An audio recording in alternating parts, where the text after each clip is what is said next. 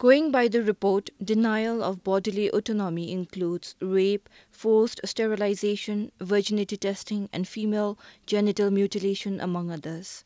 It shows that in countries where we have data, nearly 50% of women lack the power to make their own decisions over healthcare, contraception, and sexuality.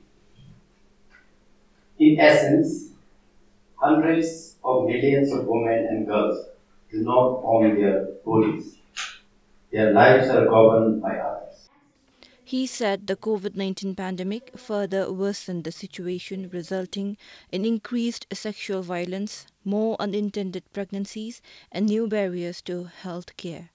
According to Renew, in Bhutan, some common cases of denial to bodily autonomy are unwanted and teenage pregnancy, physical and emotional abuse, and rape.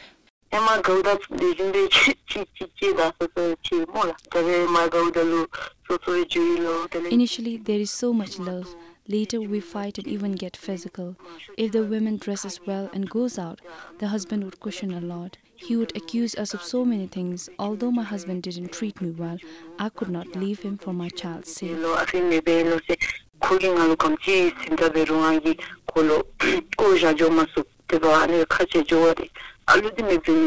I think we women are emotionally weak and have to worry about what our husband or his family would say about us.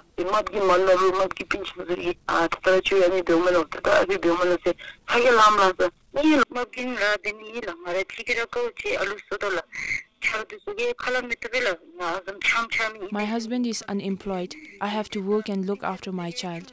Since I work as a sweeper, my friends and family discriminate.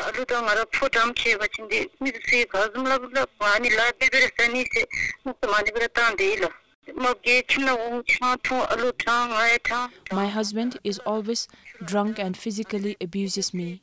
He doesn't spare our child. Last time, I couldn't take it anymore and asked him to leave. He nearly killed me.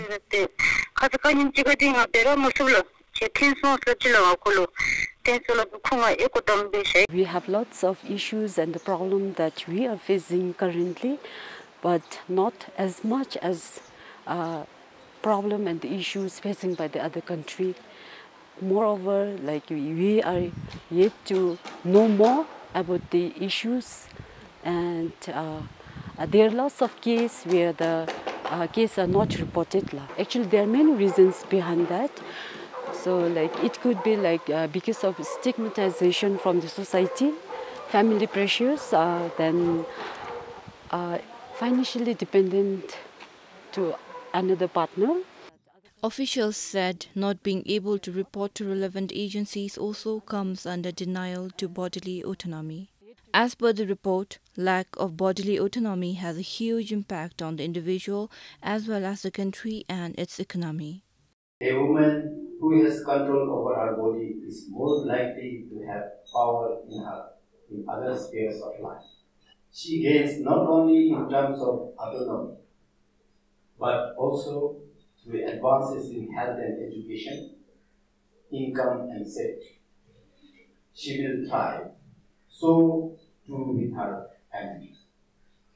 Communities and societies as a whole will flourish when all people have the power to make their own informed decisions.